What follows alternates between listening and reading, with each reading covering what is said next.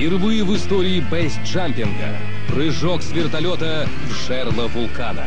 Не надо представлять, конечно, что он извергается столбом а, огня и пепла на высоту 10 километров, из него летят камни, льется лава. Новая экстремальная экспедиция Валерия Розова.